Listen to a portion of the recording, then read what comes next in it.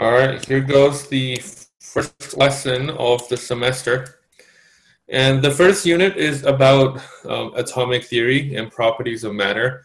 We're going to first start by studying the history of atomic model development. And then we'll talk more about the properties of an atom, like subatomic particles, what isotopes are. So um, the first uh, half is mostly review. So we have to go all the way back to 500 BC, so like more than 2,000 years ago. It was then a person named Democritus. Uh, he was the first one to actually propose that everything is made up of tiny, indivisible particles. Right, so if you imagine you take any substance, you cut it into smaller, smaller pieces, you're eventually going to end up with something that you cannot cut anymore. And we call it indivisible. And he's Greek, so uh, he called it the atoma. Uh, atoma in Greek means indivisible. So that's what he envisioned. Now, he had no evidence. He's just you know, thinking out loud here. But um, at that time, uh, lived Aristotle. So many people were influenced by Aristotle. So what did he have to say? He's like, nope, uh, there is no atom. Okay, you're wrong. Uh, I'm right. Aristotle is perhaps one of the most famous philosophers of all time. Uh, he is such a brilliant man that he came up with the scientific uh, hypothesis, um, the scientific method. He studied plants and animals by dissecting them. So he also made a lot of uh, claims about the state of the natural world most of which are wrong. So, what did he say about the atom, though? Um, there is no atom, but so what's everything made of, according to Aristotle? Well, then, Aristotle said everything in this world is made up of a combination of four different elements. Okay, you can have fire, air, earth, or water, kind of like Avatar, the cartoon. And those elements have a combination of the four properties hot, dry, wet, and cold. So if you look at that picture, um, fire will be hot and dry, which makes sense. Water is wet and cold, air is hot and wet, and then the earth is dry and cold. It kind of makes sense if you think about it. So that's what he proposes. So according to Aristotle, the periodic table has four elements. Wouldn't that make the course easier? But um, he is not correct. Okay, we know that today that Aristotle um, most of the, the scientific things that he said were just wrong. So he refuted Democritus. And it sounds silly to us today. Like, how could everything be made up of those four things? But at that time, everyone believed him because he is the great Aristotle. So you're not supposed to question the great Aristotle. What he says is true. Aristotle invented empirical um, evidence and proof, but the people around him doesn't seem to want to do it. And very famously, Aristotle claimed that if you drop two objects of different mass, the heavier object will fall faster. This is true if you have air resistance and the mass is quite low, but no, in vacuum, this is not true. So nobody actually tested it until Galileo. So that's that's kind of weird that the, you know the, the father of empirical testing didn't test it. So anyway, everyone believed Aristotle because he's so great. Um, people tend to gravitate towards authority at the time. So Democritus' idea was dismissed. So for ages, thousands of years, everyone believed that everything was made up of fire, air, water, and earth. So then comes the Dark Ages, so this is from 3rd to 15th century. That was a terrible time to be a scientist. All right? If you come up with new ideas about the natural world that was not aligned with current ideas, um, the best thing that can happen to you is nobody talks to you anymore. You're excommunicated from the church. The worst thing that can happen is death. And so if you dare to bring up everything making up of atoms, and Aristotle is wrong, well, then you know you just might get executed, and people have died uh, for saying that um, the sun is in the middle of the universe, not the Earth. Um, I forget the dude's name. Um, it's not Galileo. um, is not Copernicus, although those people did get in trouble for proposing that the sun is in the middle. So, uh, not a good time for science. So, as a result, scientific progress was halted. Everybody just recanted what Aristotle and ancient philosophers have been saying until recently, um, the 1800s. That was a wonderful age of scientific discovery and the frontiers of biochem and physics. Um, many new discoveries and theories have been created. So, starting with John Dalton. Okay, this is a guy named John Dalton. He was the first person to provide empirical evidence of atoms. And he claimed uh, the following The number one claim is everything is made of atoms, they're indivisible and indestructible. Exactly what Democritus was saying. All right. Is that true, though? Um, the making up of atom part is true. But are atoms indivisible and indestructible? No. Um, but they, he couldn't have known. Uh, people back in the day, they didn't have the technology. So, no, they didn't know that. So, according to them, atoms are indivisible and indestructible. And he compared atoms to billiard balls. Um, this is actually um, named the billiard balls model because a billiard ball is just a ball. Uh, it has no distinct features. Atoms are just like billiard balls, just a round sphere with no features except that it is the smallest possible unit. Now, second, there are different kinds of atoms. Different elements have the same kind of, uh, sorry, different elements have different kinds of atoms, but the same element would have the same kind of atoms across, and they have the same mass and same property if you're the same element. Is this true? No. Because um, of isotopes on, on the periodic table, there are atoms of the same element, but they have different mass. They just have different neutrons. So, but again, he wouldn't have known that, and that is a pretty close approximation to real life.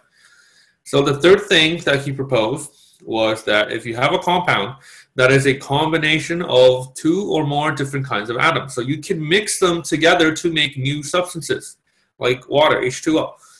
And this is definitely true. And the last thing that he said was if you have a chemical reaction, in a reaction, atoms are rearranged. So you kind of mix them up. So AB plus CD, if a chemical reaction happens, then you have uh, you know, a switch up, so have AD plus EB instead. Um, again, this is the definition of a chemical reaction, so he's right there.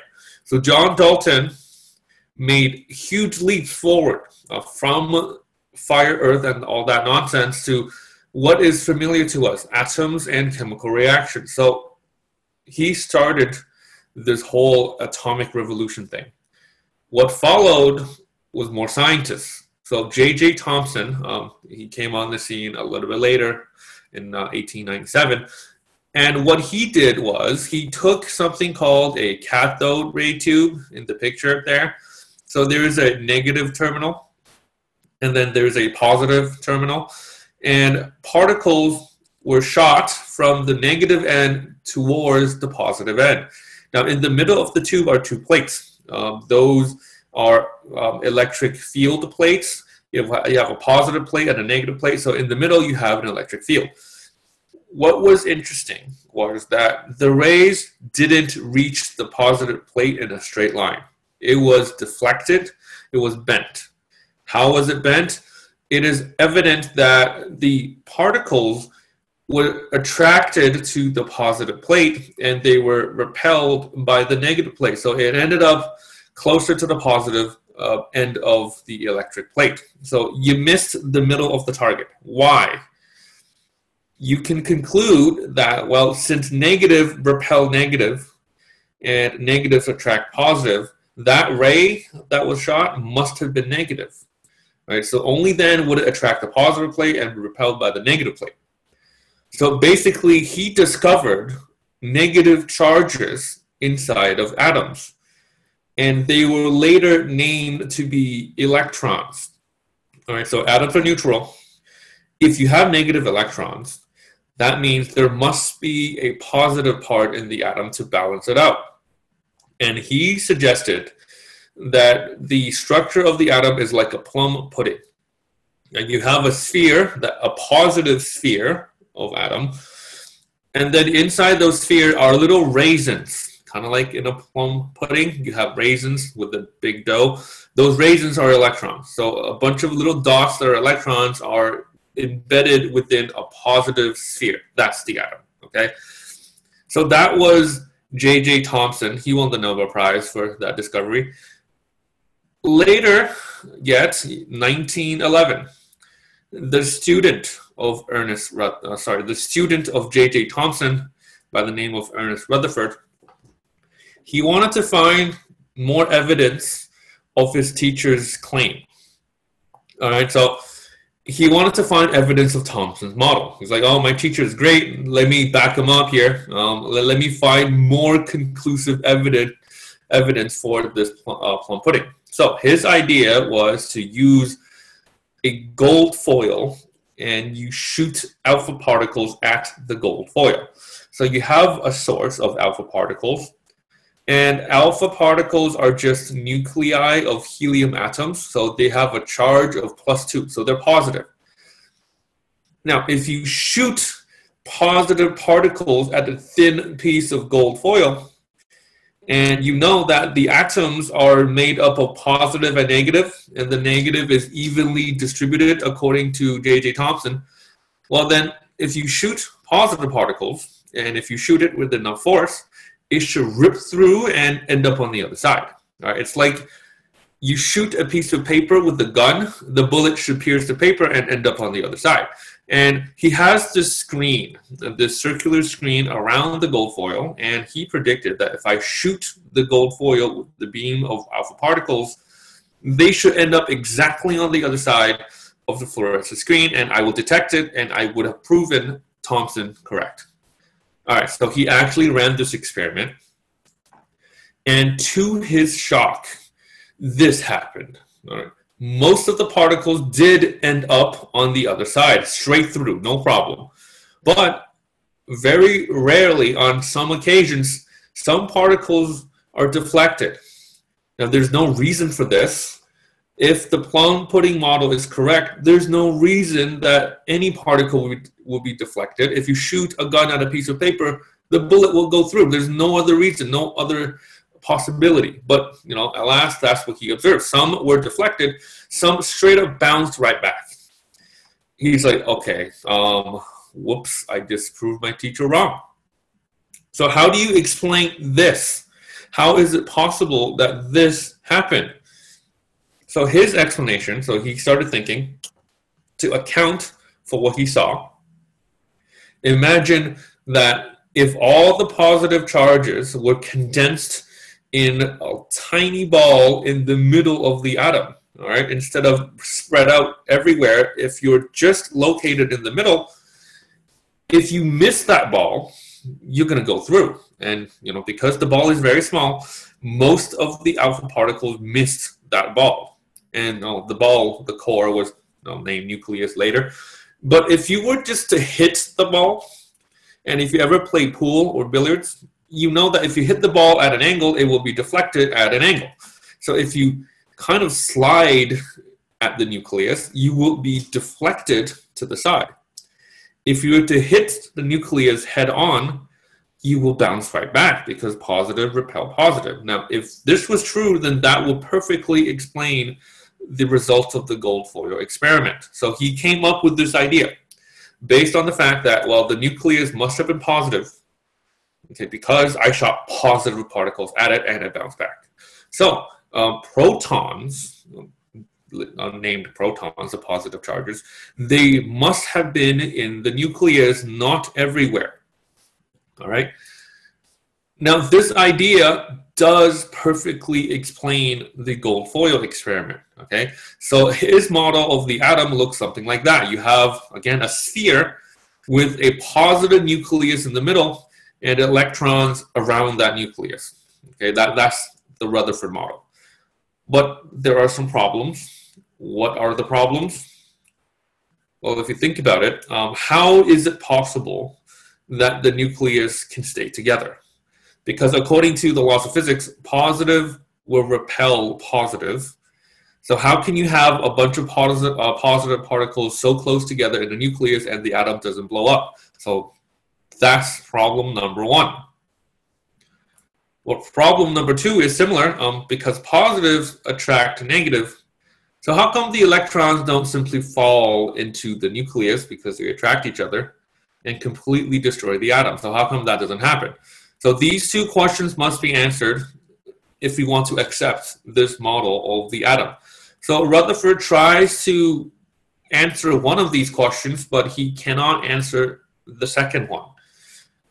So let's address each problem one at a time. So problem one, how is it possible that all protons being positively charged, how can they stick together like that? Uh, shouldn't they repel and just, you know, separate?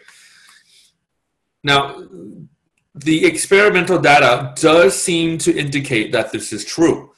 All you have to do is explain how this is possible. All right. That's weird because it's if positive particles really want to you know separate, they're not going to be together. It's like two people that really hate each other, uh, like Trump and Kim. They're not going to go to the movies together. Like Taylor Swift and Katy Perry, they're not going to hang out. People hate each other. Okay, protons hate each other. How? How is that possible? This is what he proposed. Well, what if there is a middleman? Okay, there's a mediator what if there's a third type of particle? Well, let's call it the neutron because you know it's neutral, doesn't have a charge. What if they separate the protons? Okay, so in the nucleus, there's not just protons, there's protons and neutrons.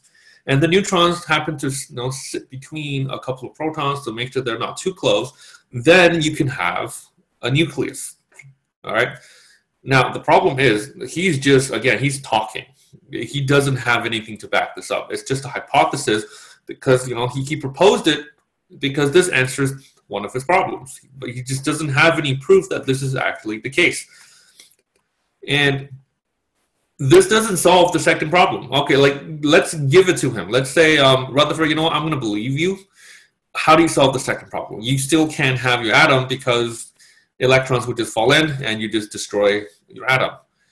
And atoms are stable. They don't typically destroy themselves. So how do you explain that one so Rutherford tried to claim problem one, and he could not explain problem two. Now, problem one still doesn't have evidence, all right? It came a few years later down the line, a chap named James Chadwick. He actually discovered evidence of the neutron. So he discovered the neutron, he won the Nobel Prize for that. So this confirmed Rutherford that yes, okay, your nucleus can exist, and here's how. You have neutrons separating the protons, but still, I mean, the protons are still fairly close to each other, right? How come the nucleus doesn't explode? Well, because of the strong nuclear force. In physics, you learn that there are four fundamental forces of the universe, and the strongest of them all is the strong nuclear force.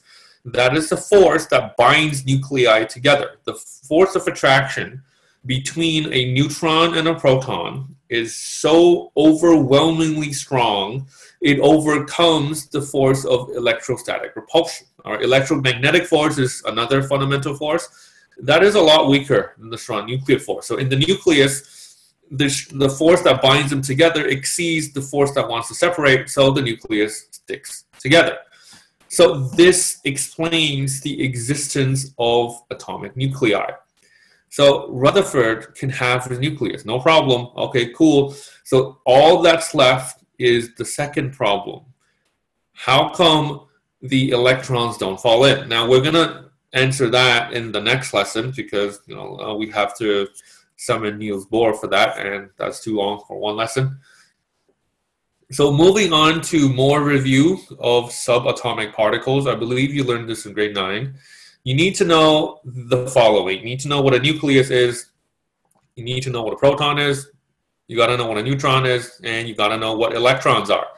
So proton, neutrons, and electrons, they're symbols because uh, nobody likes to write big words. Proton, P, neutron, and electron, E, the first letter of their word, followed by a superscript of their charge. So proton is positive, uh, neutrons don't have a charge, so zero electrons are negative, so E minus.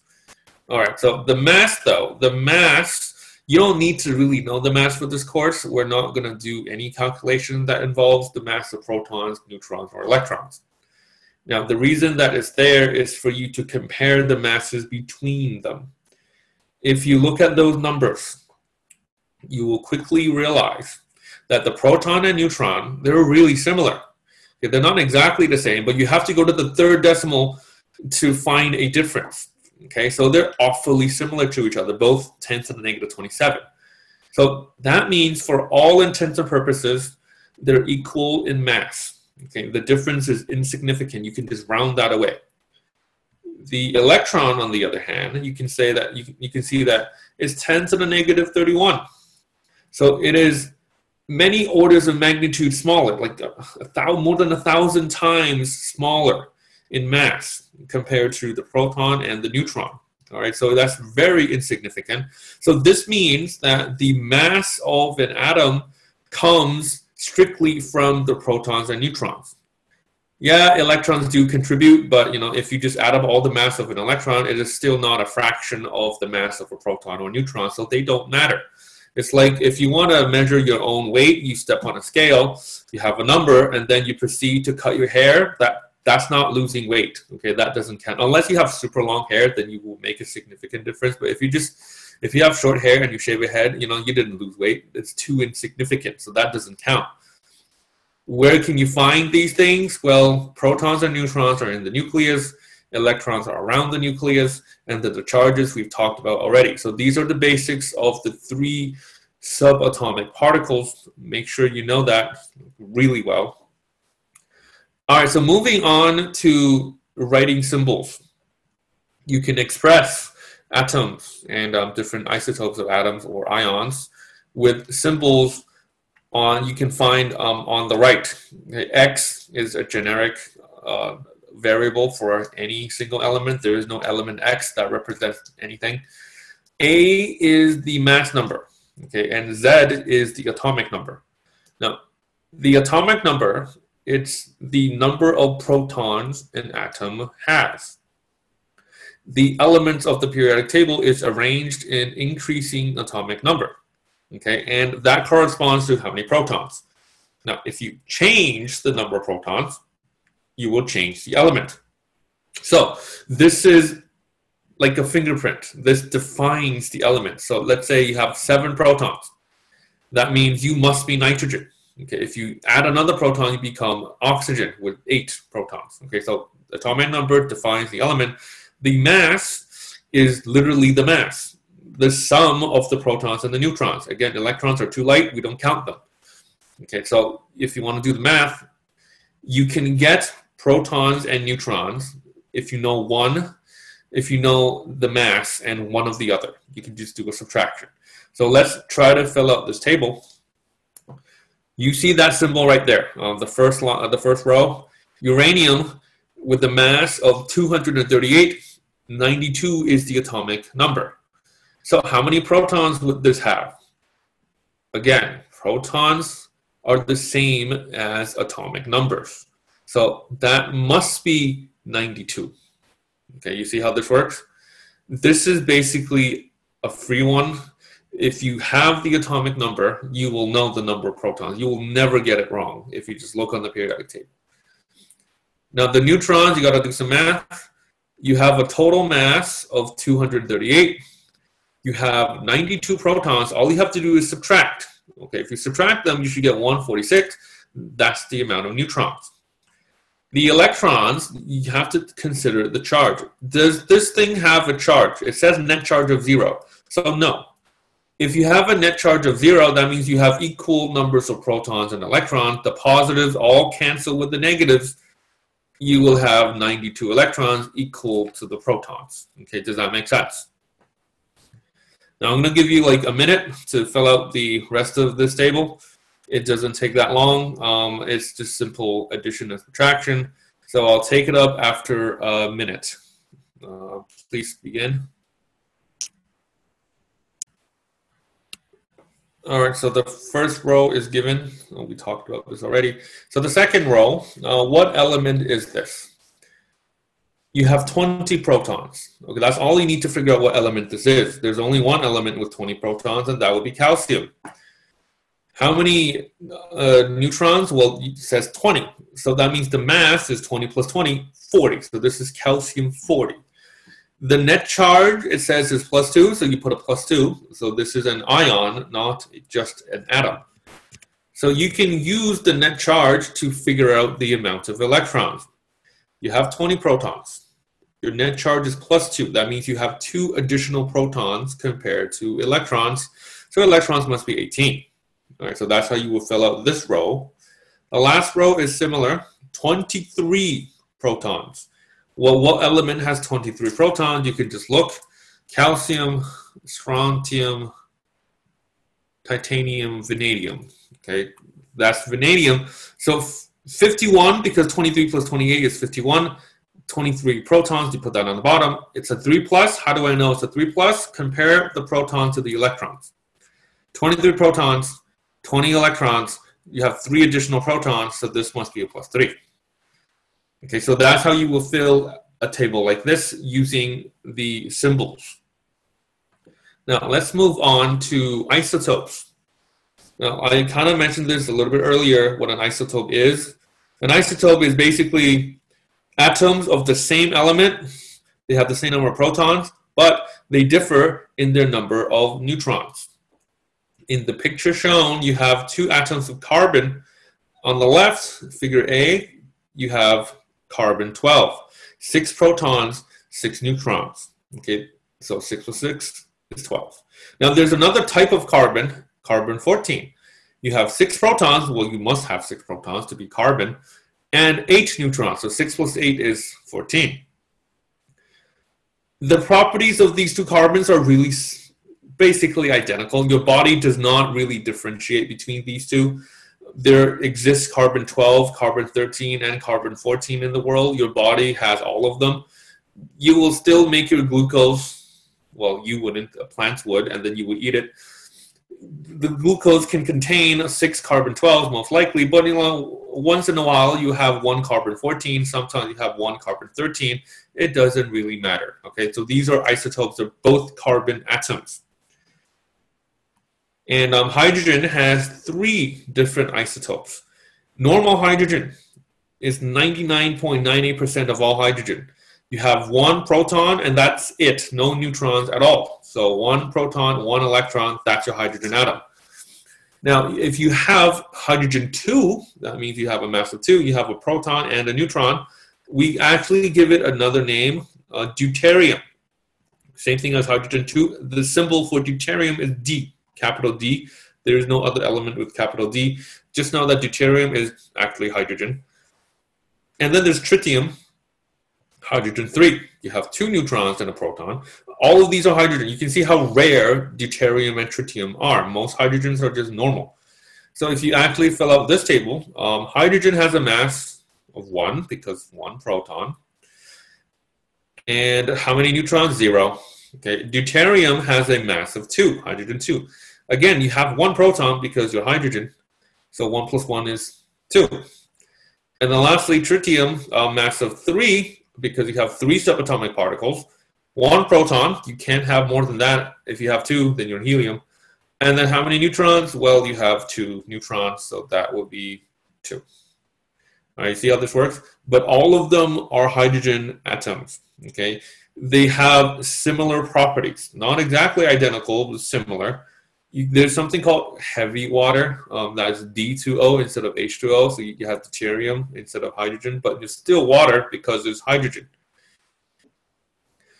All right, so these isotopes, they're similar, okay? But they have a key difference. Not all isotopes are stable. All right, some of them will decay because you have too many neutrons. The nucleus doesn't bind together as well. Um, as you know if if you had less. So normally, if you have a large atom with a large nucleus, that's probably going to be unstable, and we call it radioactive. So there are radioisotopes. A radioisotope is just an isotope of an atom that is unstable. and it will spontaneously break into smaller nuclei. So a nucleus can break, and that's radioactivity. Now, uranium is a prime example of this. All isotopes of uranium are radioactive. And we use this to our advantage. Uranium is a coveted uh, mineral because of its applications.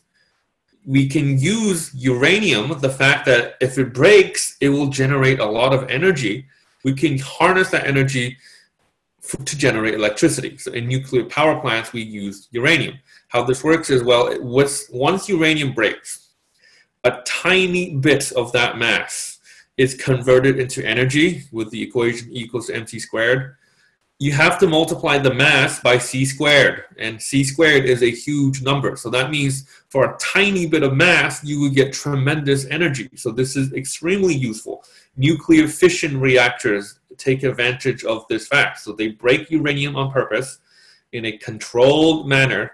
So you harness that energy you use that energy to heat up water to make it into steam, and then that steam will turn a turbine which has a magnet on it. And if you spin a magnet, you generate a current. That's how you generate electricity in nuclear power plants. Now, you could use this constructively, or you can use this destructively. In fact, we use this destructively first the atomic bomb was invented and one of them was a uranium bomb. And then later they're like hold on we don't have to kill people with this. We can actually make people's life better by generating electricity. So yeah you could make nuclear weapons or nuclear power plants. It depends on what you want to do with it okay? Like canada we do have nuclear reactors but we don't have nuclear weapons. Um, north korea i think is the opposite. Um, i don't know if they have nuclear reactors but they definitely tried to get nuclear weapons and i think they did it uh, here's a copyrighted video that I'm not allowed to show you because I'm going to post this on YouTube. Um, I'm going to pause this. All right, so that was a summary of isotopes. Uh, the last little bit that he mentioned, you don't have to worry about that. The abundance of um, atomic isotope, that's grade 11 stuff. All right, so let's move on to the size of an atom and, you know, compared to the nucleus. So if you imagine that an atom is a football stadium, if you were to take an atom and you know, make it bigger at the size of a football stadium, how big would the nucleus be? The nucleus of that atom would be akin to a fly in the center of the football stadium. It's that small. Now, what does that mean? If you have an adjacent atom, you will that means have an adjacent football stadium and the nucleus of that atom will be another fly in the middle. So the two nuclei will be very far apart from each other and very small compared to the radius of the atom. Okay, so what would that entail? Well, because protons and neutrons, so the nucleus, can constitute almost 100% of the mass of the atom, this is saying that all of the mass of the atom is condensed in that tiny nucleus, meaning that the rest of the atom is just empty space. All right, so the atom is effectively 99.9% empty space. So the atoms in your face is 99.9% empty space. Your desk is 99.9% empty space. The computer screen that you're staring at right now is 99.9% empty space.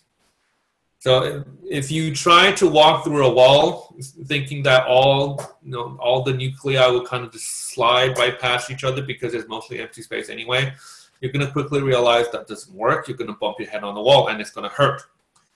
Now, does anyone know why? If everything is 99.9% empty space, why can't you just walk through walls? Why, why does it hurt when you bump your head? Does anyone want to answer that one?